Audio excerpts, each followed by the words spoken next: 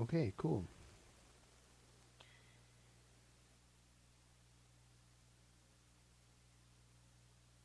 Okay, just seeing what the lag is here. I'm gonna make some adjustments. Being live here is kind of new.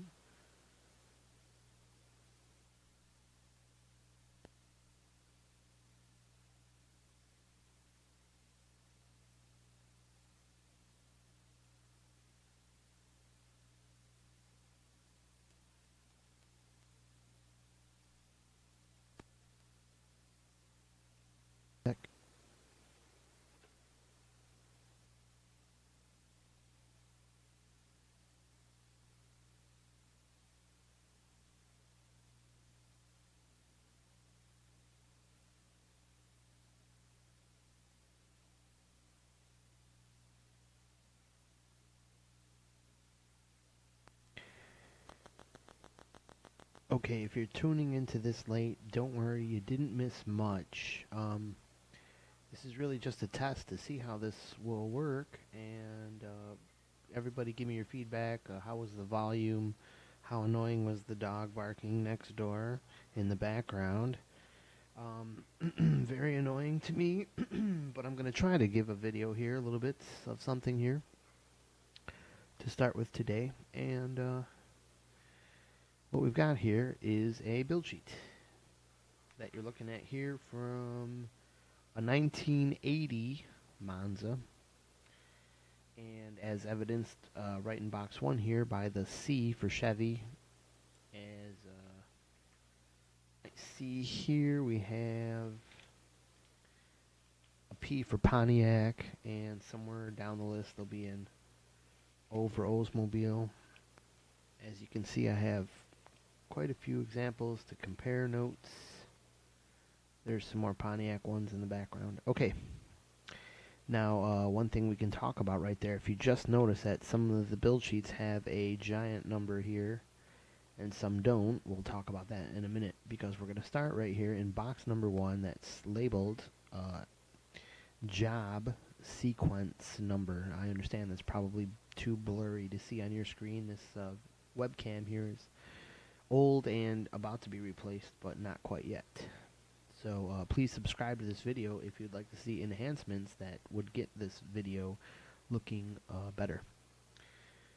If you haven't already subscribed. Okay, so um, C361708 is a number right here. Well, what this number is, is your job sequence number um, it's the basically the job, and a job number was assigned to a body that I believe was built up and in a body bank, and this number here at the end may have signified which bank.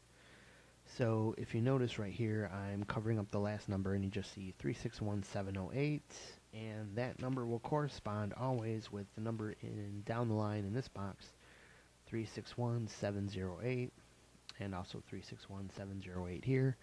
This was your car's basic body number. This number counted up uh, each year how many bodies were made at the plant. Now, right off the bat, if you notice that there were 361 is a lot greater than the amount of total H bodies that they made that year. Well, that's because this number uh, included vans that were made on the property but in a separate building.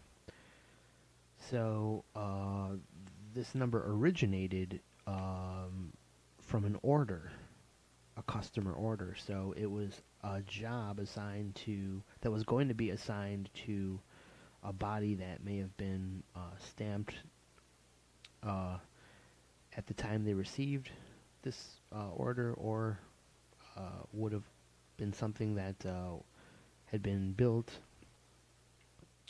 for you know use you know, built as a blank shell to be assigned a number. As you know, that uh, there were more than one kind of uh, body style, so you know there would have been a ver- had to have been built a variety of bodies to uh, keep the line moving um, with all the different variations. So,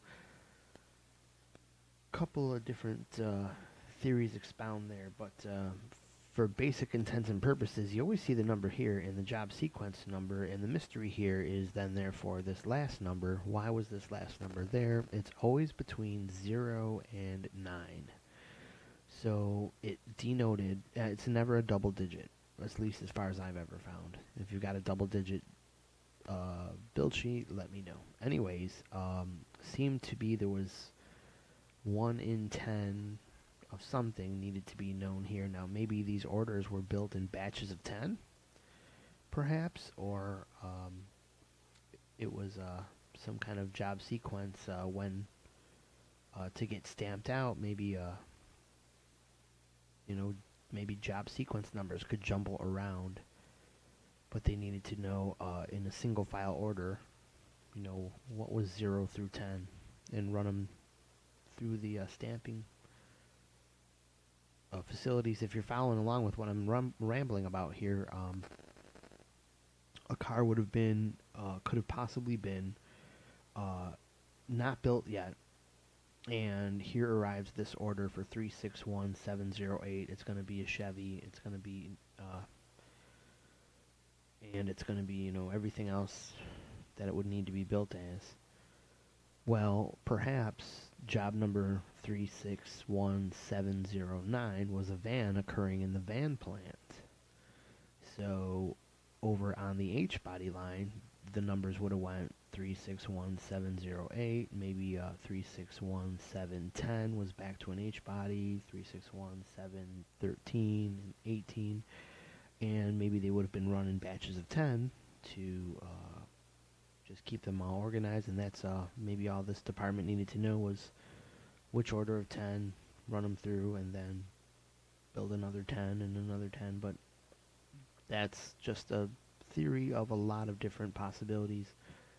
Um, so, anyways, um, just a small detail that's not exactly understood. Here you had C uh, for, you know, B, O, P, or C for I'm sure you understand that. If you're watching this video, you'll know uh, what that means. Moving on down the top of the line here, there was some boxes labeled for a few things that were never used. Ignition key and another uh, compartment key codes were not used there. We discussed this box. It's your body basic body unit number and then moving on to a VIN number area, which spelled out uh, what the car's VIN number would be based on uh, what it was ordered as a Chevy, a sport faced hatchback. This one was R for sport face, 07 for the hatchback, and could have been an M for a plain Jane, but uh, we have uh, the A for the V6 engine, A for 1980 seven for the Lordstown plant, and its VIN code starting with 100,000. If this says two, then this was the 100,400 and 147,236 Monza made that year.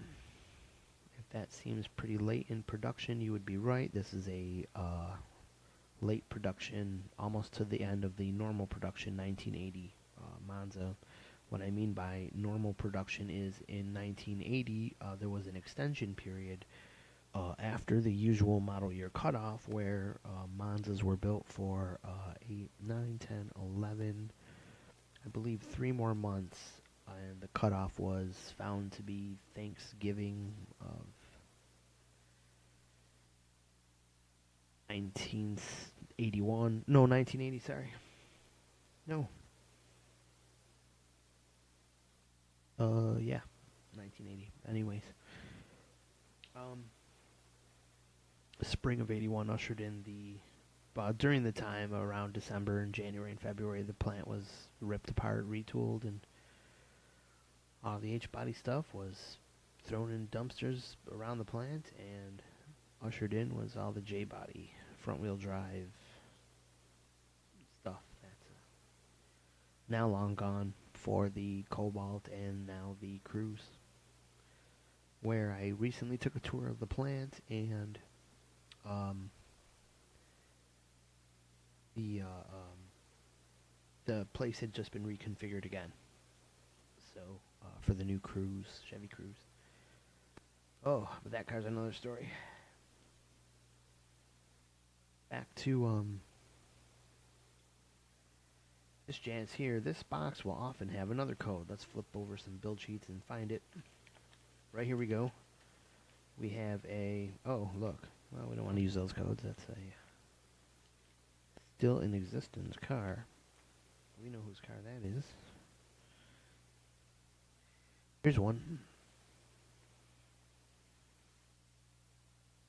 This particular car. Sorry about all that. We had a camera collapse.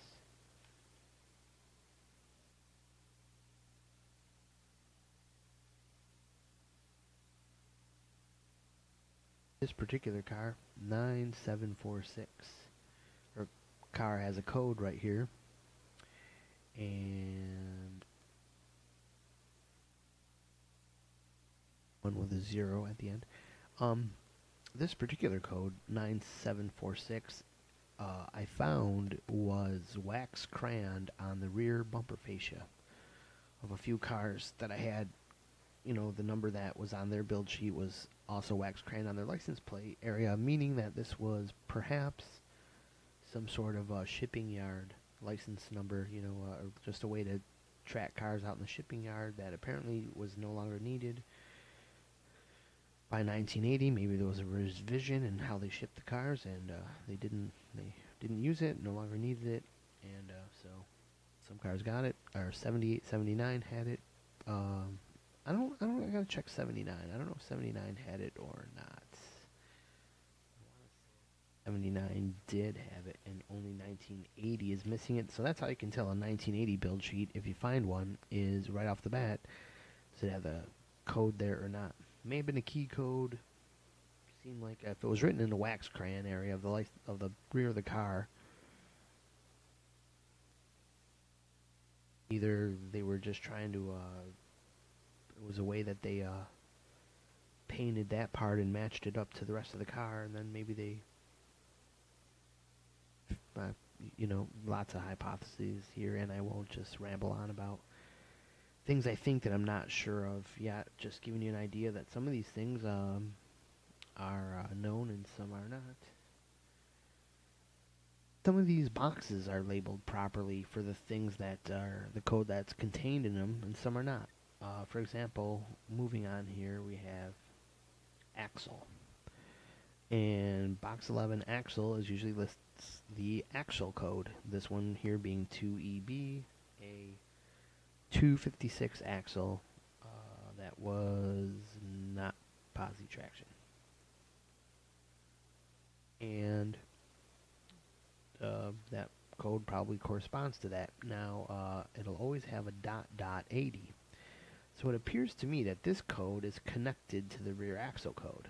But I've never been able to confirm what this means. And what I mean by never being able to confirm it it's not something I did by just sitting here and hypothesizing. I organized all build sheets I had from all different years over which ones had 80, which ones had 81, which ones had code 82, and one of them has a code 181. A very, you know, just a total oddball right there. And on some of these codes, I did that, and I was able to find out, oh, okay, this code is for um, air conditioning or glove box doors, whatever it was. You would be able to see like these cars had this, these cars had that, and I could find no identifying thing here. I thought it would be a sport suspension thing where uh, the trailing arms that were being put on, maybe uh, to mount the rear axle, were either um, uh, code for you know put the inserts in, don't put the inserts in, but it didn't. It it wouldn't line up. I had all different codes under all different suspensions.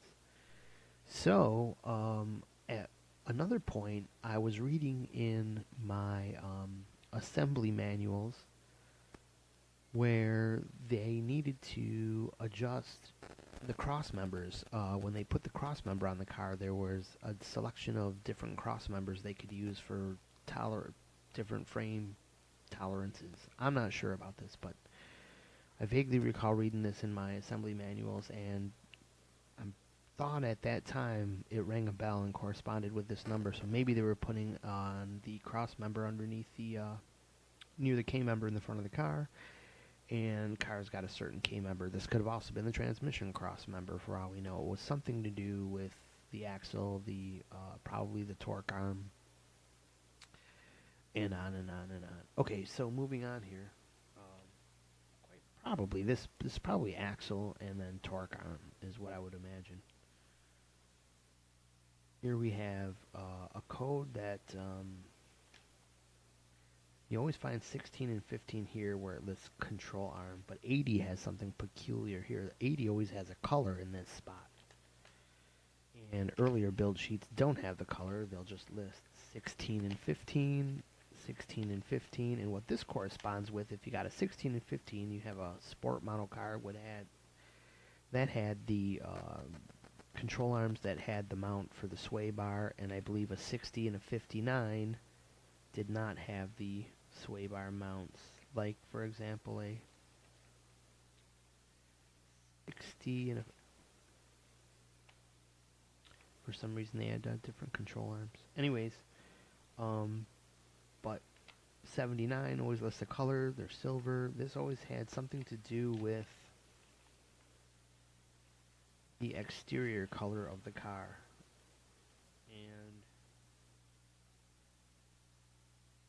For some reason something around uh, you know in the frame section needed to be painted the same color as the car at uh, in 1980.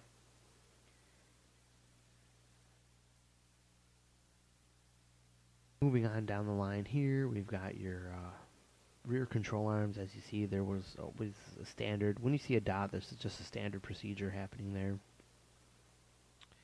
And AOR uh, here is a code for uh, the front springs box lists front springs, and indeed that has the code for the front springs, AOR, AOS, on and on, HT. Sometimes you'll see, uh, you could get a heavy duty suspension with sometimes, or no, if you got the full size spare tire, you'd see a different spring listed on the left than on the right.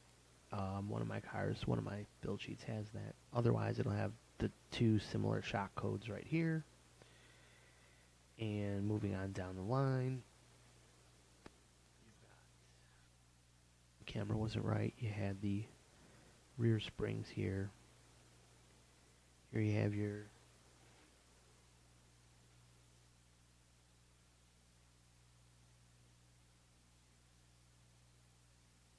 other codes here, steering knuckle code.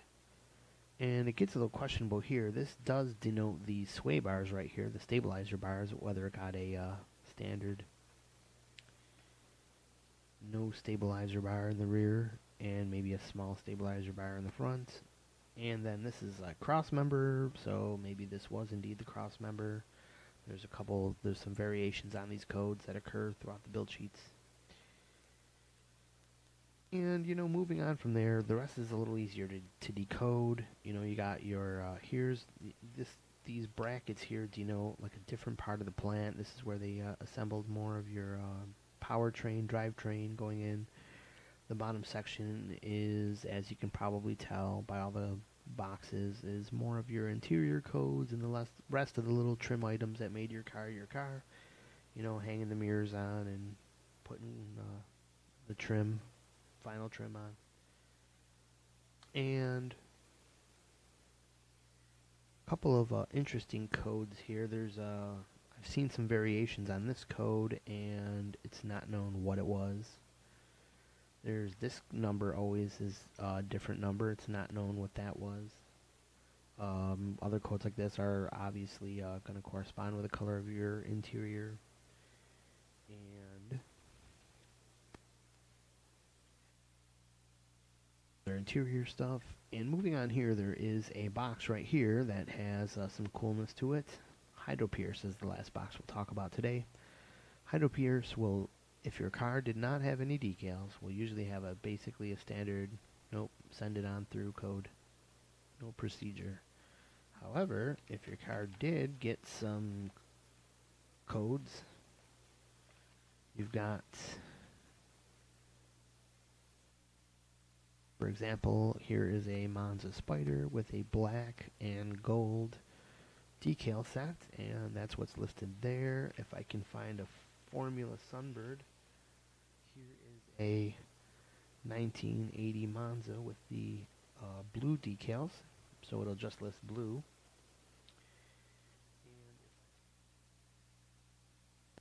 There's a spyder, a black spyder that had uh, gold and white decals. That would be the gold striping with the white lettering. Hence what you'd find on the doors of a black spyder.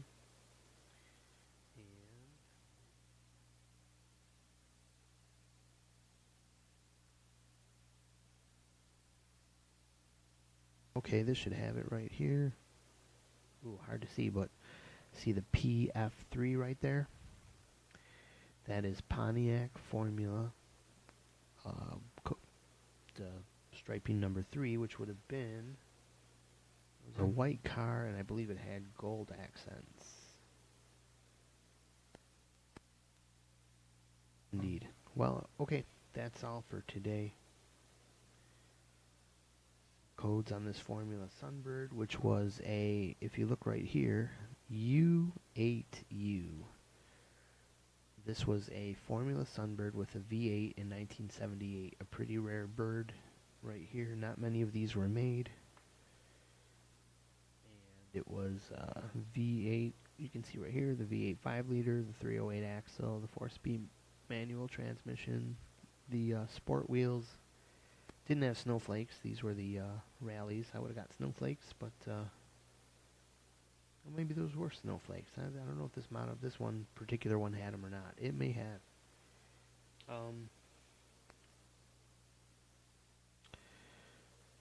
and otherwise, uh, just pretty standard everywhere. And as you can see, another code you'll find on these build sheets is that uh, whether it was a customer order or a dealer order, dealer order says nothing, and the customer order we'll have XXX customer order. Apparently for all the hot chicks that ordered these cars, huh? And um, sometimes wax crayon on some of the build sheets. This was usually your door. Your door build sheet would usually have wax crayon on it. Before here in 1980, 28 wax crayon. This one. Okay, so enough about um, excuse me. Enough about build sheets. A little bit about trim tags here. 1980. This one is maybe a little hard to see, but um, well, actually, let's start earlier.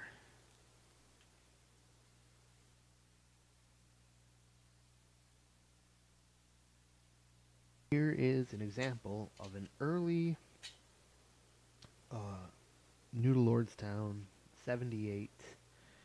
Actually, this would be mid-production right here. Uh, Chevy uh, Monza trim tag. And this one as well might be a little bit of an easier example to see. What to know, here's what the, the deal is. You'll see ST doesn't, that's just a standard build sheet stamp. Um, it stood for style. But anyways, they put the year first. 78, right here, the year. The uh, make 2 for Pontiac. HM, this used a H for H body, where the VIN would omit that, but H for H body. Then the M07 was used for this one. That means it was a hatchback and a standard or uh, maybe a sportier Pontiac uh, Sunbird. Uh, this is the uh, plant code, and this is the body unit number. As right next to where it says body, and then it's the interior codes.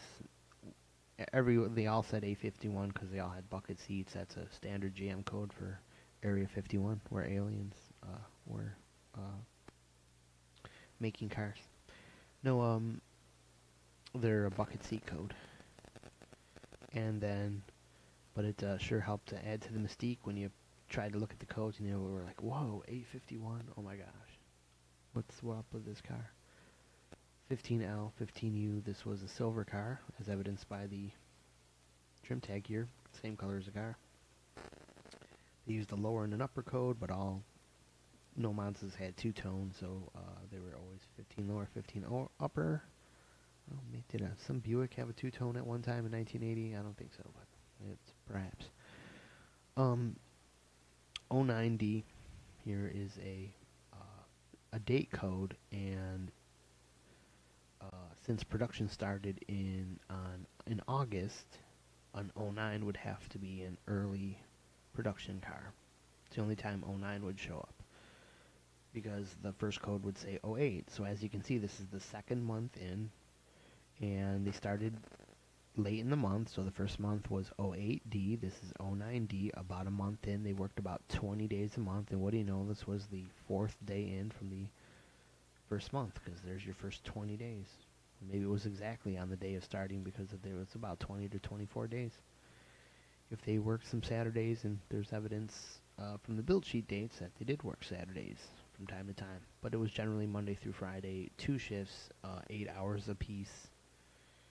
And uh, this would denote just one simple day of two eight-hour shifts. Counted up every single day. So day one started with a 01 and or maybe started with 00 perhaps. Or probably started with 01 and on and on. Um, so this number here was the we skipped over uh, 74X and interior code goes along with the uh, other interior code here. This was like your seats color and this was your interior like carpet color or what was known as the big four which would have been your rear load floor carpet, your main carpet, your kick panels and dashboard, and probably the console color too. Uh, so, uh, this four-digit number after the uh, day built code, by the way, it would click up. You know, they'd go to 124 days, then 224 days, but they didn't need to know that. This just needed to separate the 23rd day from the 25th day should this car have been built toward the morning or evening of any given day. And 0278 was the position in line. This did not count up um, from zero every day. It was just a continuous uh, 9999 code back to zero, uh, counting up the uh, positions or getting parts to these cars. Uh, they would arrive you know, uh, this was its order in line, and this is where parts would be designated all to arrive. So yellow matched up with yellow, and silver matched up with silver, and on and on. Here's the car's uh, eventual VIN number, and a special code here. This is where the car got special codes for, you know, trim trim stuff. And uh, if you had a spyder, it would say O2 black or 02 gold if you had the gold striping. And this one said 98 black. This was a Sunbird with a somewhat of a sporty uh, striping package or some option package. 90, what is that? 90, yes, 98 black. So, and probably RPO D98 and uh, it's given black striping. So, from there, we have this code right here, and this is what I uh, want to bring your attention to. This is a conformity code, and it reads, it reads, you won't be able to read it, but I'll read it here. It says, General Motors Corporation certifies to the dealer that this vehicle conforms to all U.S. federal motor vehicle safety standards applicable at time of manufacture. And they just needed basically to legally stamp that on the car so you could be assured that this was built to comply with all safety features. Well, all of a sudden, later in 1978, the code disappears. This is 79 trim tag. As you see, 79 doesn't have it anymore. 80 doesn't use it anymore.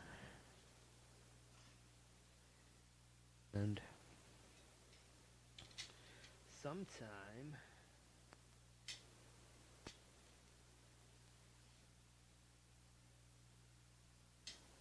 Here's the 78 tag from a little later down the line in June, and it doesn't have it. I have a cutoff date at the end of May. I still have the statement, so I'm just trying to find out what week before or after May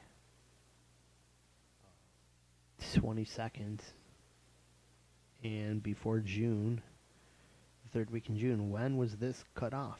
I'd like to know. I'd like to have a build sheet from, or I mean a trim tag from uh, a day, like day 99 to 00, where you know one has it and one doesn't, just to verify uh, what day um, that code disappeared. Just a little, somewhat of a mystery there. Hey, look, this one has a uh, another 98 in white, and uh, this had the same striping package on another Sunbird uh, lot uh, a little down the line, uh, blue with white. That uh, probably would have looked pretty sharp. What would you have chosen?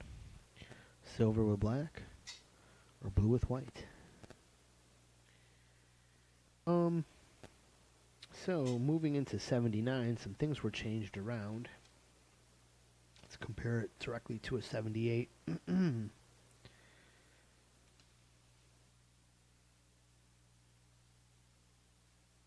Oh, here's another thing that changed on these. I just noticed. That. Okay, they got a lot simpler. They also took away the the uh, ST, the body, the paint. Apparently, they didn't need to know any of that stuff anymore either. Everybody knew what the hell the codes were, so we have here versus 79er here.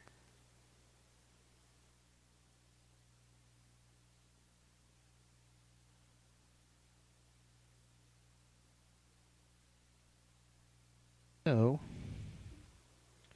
79, the year was still first, but shifted over a little bit. Um, the date code was next. Uh, the date code was near the rivet. They probably got tired of having the date code get cut up by the rivet, or maybe they realized they had to have tracking problems, so they put it up near here. Okay. Then we still have uh, your body information. The plant Oh, the plant is still listed here with a 7, and then you have 167, 773 as this body unit number.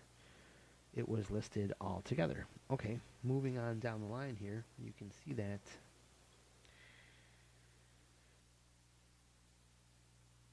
the second line remained the same, and um,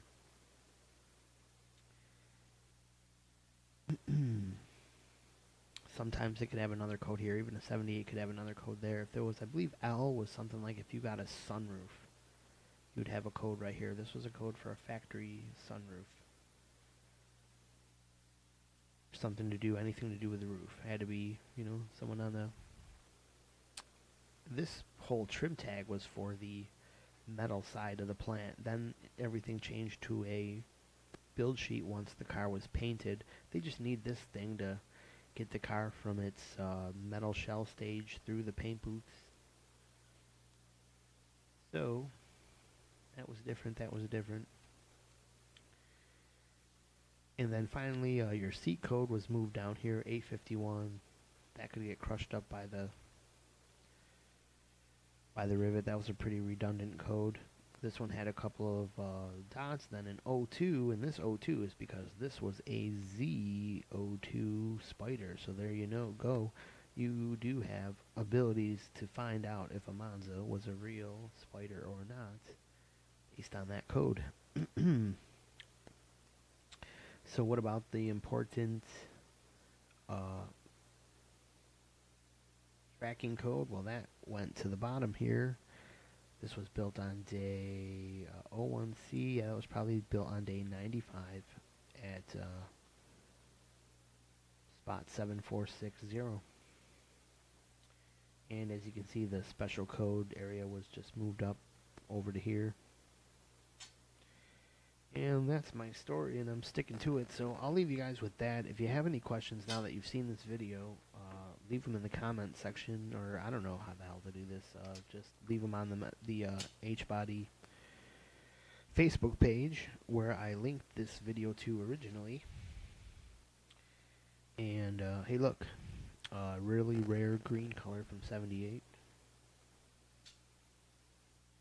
And to leave you, uh, not leave you hanging on 1980 here. 1980 uh, was a whole different animal. Lots of changes happening at the plant, uh, modernizing as it went, getting ready for the 80s here. Uh, the the trim tag's a whole different animal. It's a different material altogether. It's very, very, very plastic-like metal. It's it's like you can you know, see. It's I guess it's metal, but it's very thin and doesn't have a ridge at the top. It's not cut with a fancy little corner cut there in a ridge. No more time for messing around making trim tags look cute. It, they just used a credit card piece of steel stamped out and it had uh, some more uh, robust computerized looking letter so it must have been a whole new machine. Uh, a what did this one have? Uh, had A for 1980, 07B, for the month and year with another date code like 79, the body style, the plant code, and the perhaps the body unit number, okay. Then the uh, interior exterior paint codes. Uh, this one I believe did have a sunroof and what do you know there's the L code again so this L code was pretty sure in the same old spot and still for a sunroof Car had bucket seats. That's all they needed to know in 1980 with uh, still using the exact same trim tag or uh, tracking, I mean, uh, code that we discussed earlier. Stamped down in the lower corner. This was built on day 14. Was that, let's see, 07B. That would have been day 214, I believe. Um, yeah, late production here, late 1982 14. I believe this was the same as, uh, this was from uh, the build sheet we looked at a few minutes ago. And built at spot 4428. So, uh, there's your uh, how to read trim tags of a late model uh, Monza Sunbird built at Lordstown and some interesting stuff about the build sheets and some questions about things that are not yet known. So if you have a build sheet or a trim tag, especially a trim tag from the 1978 model year, definitely post it. Definitely send it my way if you're worried about the information that's listed on it for any reason. Uh, you know, whatever. Uh, just uh, just uh, PM it to me or ask for an email. I'll definitely uh, provide you somewhere to send it. So uh, okay, have a great day. Thanks for watching, and if you like this video, once again, click subscribe. Blue.